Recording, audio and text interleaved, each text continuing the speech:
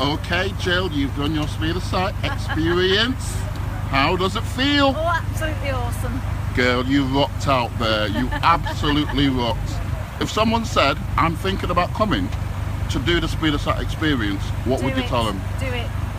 Oh, Do it like Oh, it yesterday. love it. When's the last time you drove? I have never been behind a wheel. You've never driven.